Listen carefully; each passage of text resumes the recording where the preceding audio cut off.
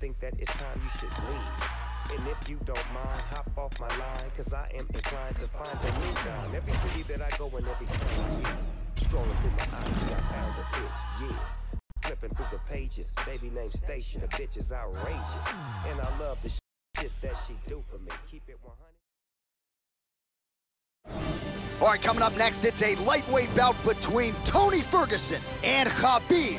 And now our tale of... You ready? You ready? We Let's go are fight. underway.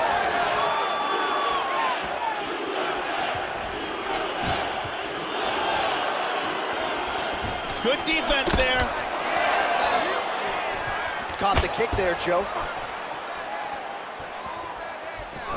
Kick lands for him there.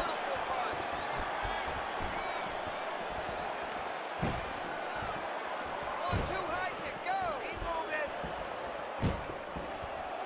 Cut that cage off, let's go. Cut him off. Fighters engaging in the clinch here early. Over, under now in the clinch.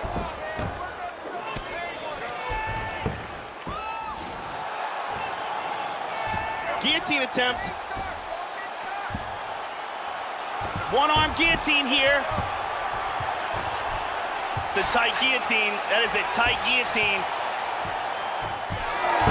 He's out of the guillotine. And busy as he looks to improve position here. Pretty good shot there. All right, so he just decides to get up here, Joe. All right, under three minutes now to go in round one.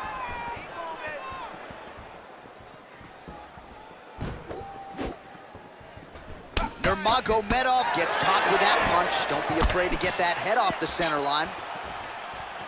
Oh, I love how he snuck through with that left hand. Big knee to the body. Down, hands up. I want that Huge uppercut misses. Just over two minutes now to go. Loading up hands higher, hands higher. Really threw a lot of power into that uppercut, but missed. He's got the over-under And he goes to the knee to the body. Nurmagomedov's got the double underhooks here in the clinch now. Well-timed knee to the body.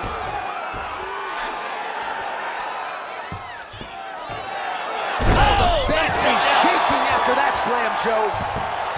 Inside control here. He's looking for the Kimura, trying to lock it up. He's got his arm pinned down. He's got that arm locked up. Look at that. That is high-level ground game there. This Kimura is getting further and further. He might have to tap. Oh, that's it.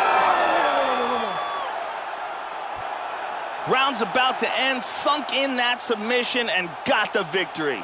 Well, yeah, Joe, you could tell he was going to